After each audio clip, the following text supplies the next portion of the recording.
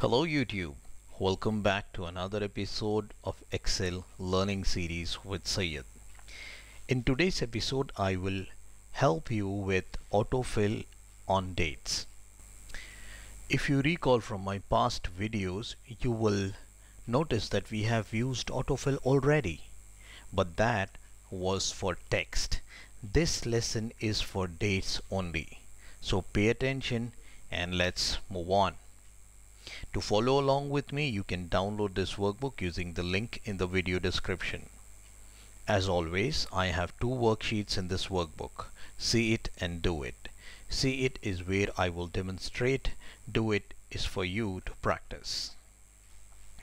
Alright, to begin, let's click on the second row of the first column where it says for the week off. Now imagine you have a report that has to go on a weekly basis and your week may start from Monday.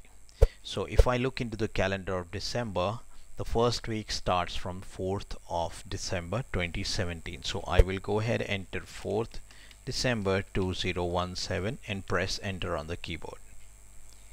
Now I need to enter another date that is 7 days past this date.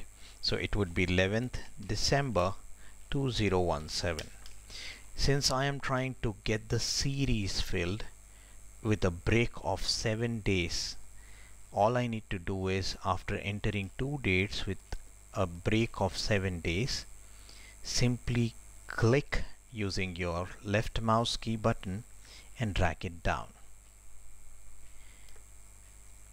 Now you can see I have a perfect gap of 7 days between every date. And every date is starting from the Monday Monday of every week. So this is how you fill the dates for the weeks. Now imagine you you would not want to have the Saturdays and Sundays. You just want the weekday or the working days filled in. How do I do it? Let's see. I enter 4th December 2017 again. And this time I will not left click instead I will right click on the drag handle and drag it down. The moment I release my right click there will be a menu popping in that will ask me to select from the listed options. In here I will select weekdays. This way I will have only the working days inside that week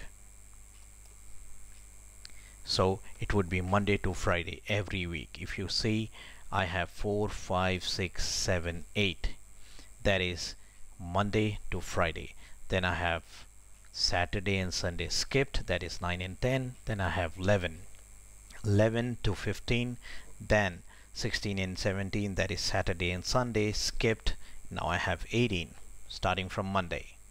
So this is how you fill in the working days or the weekdays inside Excel using autofill. How about a monthly report? Say I have a report that has to go out on 11th of every month. So I simply enter 11 December 2017. Now again I right click my mouse on the drag handle and drag it down. This time I will select 12 months see that? I have 11th of every month. There is a jump of one month between every date. Now imagine you have a month name that you want to fill in. This is pretty simple. You just enter the first month name and drag it down. So I have month name that is getting dragged down if I have a month name that I want to abbreviate so I, I, I simply enter the three letter abbreviation for that month and drag it down. I can drag it the other way around. For example let me get rid of the first block of this uh, month abbreviation. And here on the August if I just click on the drag handle and drag it in the reverse order you can see it fills up the month names in the reverse order. Now let us try quarters. Quarters are mostly used for financial reports or reports of different types, maybe analytical reports. So how do we fill in? we can use quarter 1 press enter drag this down you can see it takes up the series of four quarters quarter 1 to 4 then it again starts from quarter 1 and goes up to quarter 4 so this is how it goes for four quarters. Now if I try QTR1 that is the abbreviation for quarter and drag this down you can see it fills in the quarters for me pretty smooth. I can try letter only Q1 and drag this down. Does the same thing. So this is pretty straightforward.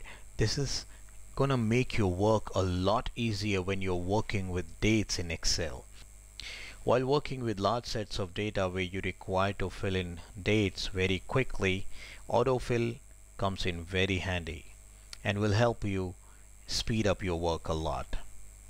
I hope you find this video helpful. In the next video, I will show you how to format date and time in standard and custom way. Don't miss it. Subscribe to the channel for continued updates and click on the bell icon for notifications.